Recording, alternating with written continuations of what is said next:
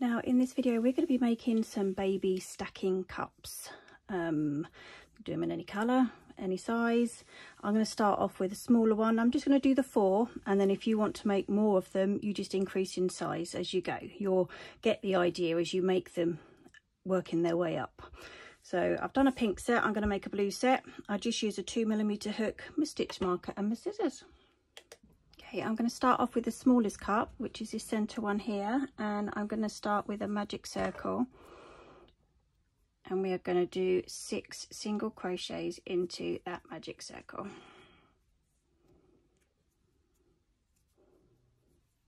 There we have one,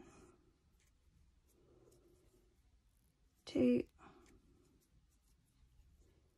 three, four, five and six. I'm going to replace my stitch marker. If you need more help with the magic circle I do have another video up there that will help you. And then what we need to do is we need to tidy this bit up because it's a bit loopy.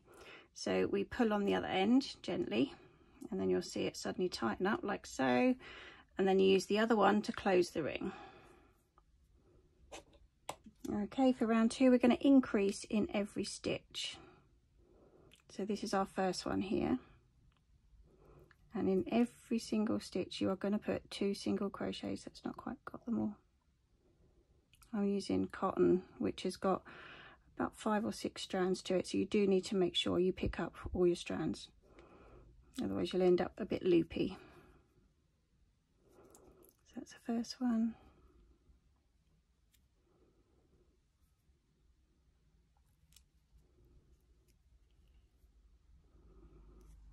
two,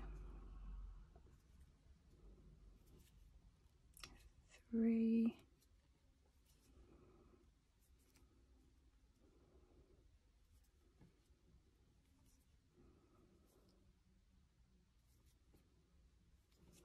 four,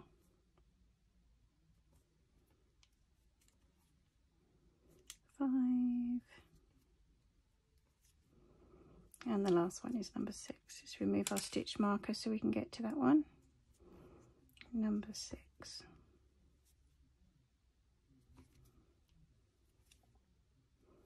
And always remember to replace your stitch marker. Row three we're going to be doing one single crochet and then an increase in the next stitch. And we're going to follow that pattern all the way around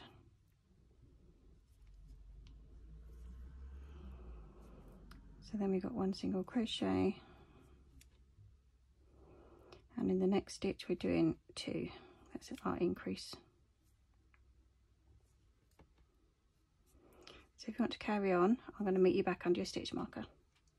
Row four we want to two single crochets and then our increase. Now for the smallest cup this is going to be our last increase round. So you do two and then you're increasing the next stitch so two in the same stitch.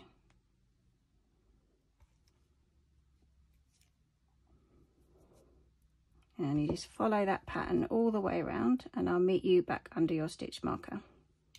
Now in row five we're going to be working in the back loop only. So this back one here. And then you're literally going to do a single crochet in every stitch all the way around. Just in those back loops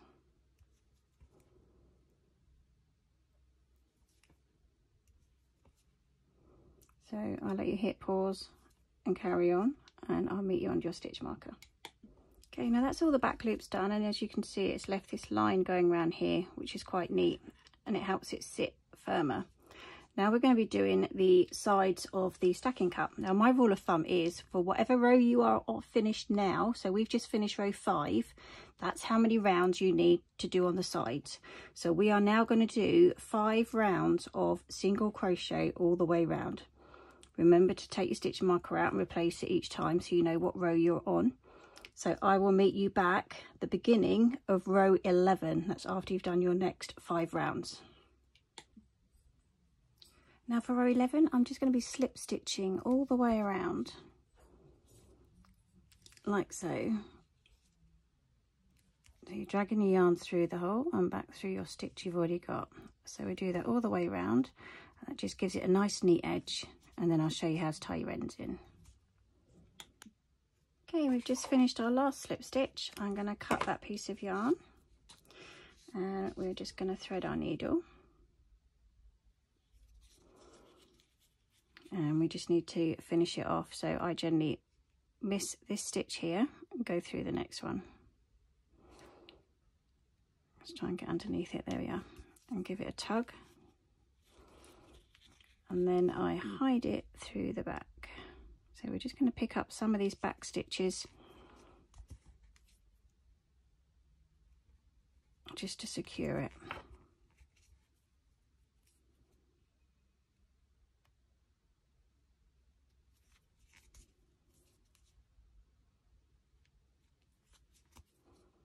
And then I'll trim that tail off.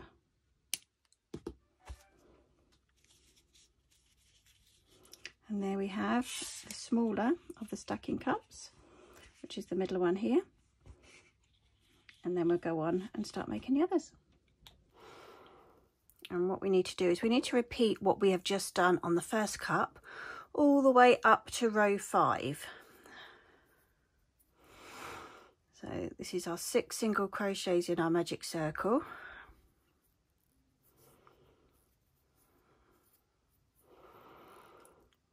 Three, four, five, six. Pop our stitch marker in. And get rid of that little bump that I've got on the end, this one here, by pulling the main ring. And it shrinks away, look and then tighten it with this one. So if I let you carry on up until row five, so you're going to do the next row is going to be an increase in all stitches. The one after that, one single crochet increase. The next one, two single crochet increase. And then I will meet you at row five.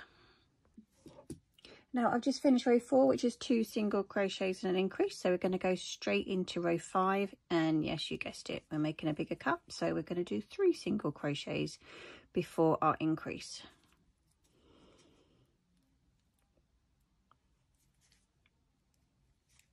So for every cup, you're going up a size. You're going to increase each this particular round by one.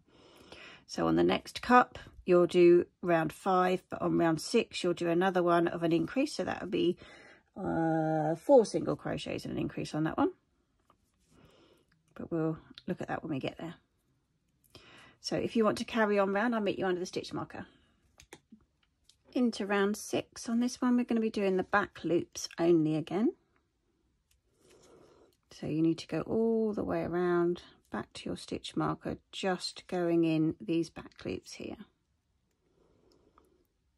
So I'll let you carry on, pause the video and I'll meet you back under your stitch marker. Okay, that's the back loops done. So that's row six finished. Now the rule of thumb is however many rows you get to now is however many rows you do to finish the top. So we're on row six. So we are now going to do six rows of just single crochet all the way around. So you need to remember to replace your stitch marker at the end of every round. And you're going through both loops now, all the way around for six rows. And I will meet you back at the beginning of row 13. So just finished round 12. So round 13, we're finishing it off with our slip stitch round. So just pull the stitch straight through. So pull up a loop, pull it straight through the one that's on your hook. So if you carry on going round and then I'll show you how we sew in our ends. That was our last slip stitch finished for that round. I'm just going to cut a length. And we are going to sew in this end. So we thread our needle. Oh. Make sure we get all of the strands.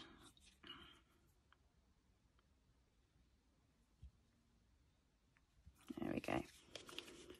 So I generally miss this next stitch here and go through this one. Put it tight and then it looks like it should have been there. And then work our way down under some of these stitches.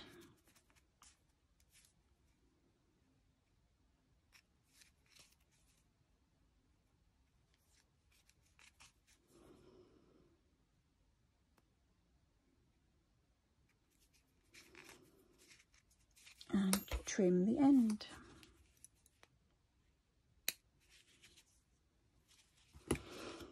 And there we have our second stacking cup going up in size.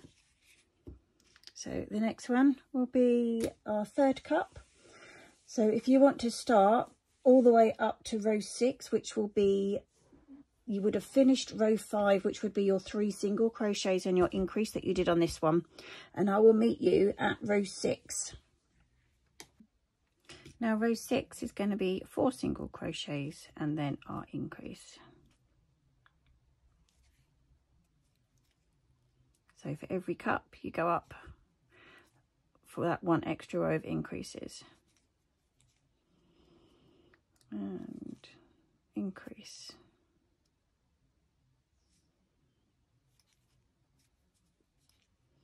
So you carry on, press pause, excuse me, and I'll meet you under your stitch marker. Row seven, we are doing our back loop only round. So every stitch is a single crochet in the back loops only. And I will meet you back under your stitch marker. Okay, so that was row seven. We are now doing seven rows of single crochet all the way around through both loops and this will make the sides. So I will let you carry on and I will meet you at the beginning of row 15. Just finished row 14 and we are now finishing with a row of slip stitches all the way around. So I will let you carry on. I don't need to show you how to finish off again because we've already done that. So I will meet you on the last cup. Now it's time for the last one, so we're on to the fourth cup. So again, you're going to do your magic circle and then the next row will be your increase. And then you're going to do one single crochet increase for the next row. Work your way up until you get to four single crochets and increases what you had on the previous one. And then I'll meet you back there. Okay, we're just about to start row seven. So we have done our each round all the way up to four single crochets and an increase. So this round you're on five single crochets and an increase because we're doing the next size up cup. So if you want to carry on going all the way round we're doing five single crochets then your increase. So we've just finished our row seven and we're going on to row eight which is again all your back loop only round. So we're going to do one single crochet into every stitch in all these back loops so if you want to hit pause and I will meet you back under the stitch marker when you finished your round. Okay, we're now on to row 9. So rows 9 all the way through to row 16 is just one single crochet. So you've got 8 rounds of single crochet all the way around to build the sides up. Oops, do that one again.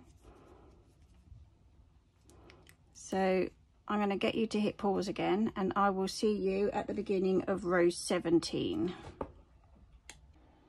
Okay, we're just about to start row 17 now and we are going to be going back to our slip stitches. So go through, pull up a loop and bring it straight back through the loop on your hook. Now if you want to carry on with that, I will meet you back under the stitch marker. Okay, that's all the slip stitches finished. We're just going to cut the yarn and sew it in. Now if you want to make more of these cups to make obviously the next size up and keep going, you just need to add one stitch on your increases on the way round but you do need to remember to add another row when you're doing the sides. So we're just going to hide this yarn in here.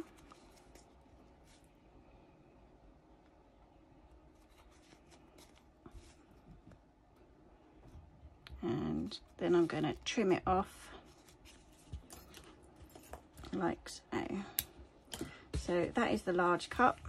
They all fit inside. and again just keep making them larger on each row and then you can go as large as you like. Let's feed them in. So now we have the blue set to go with the pink. And if you like the video please like subscribe and I'll pop another one up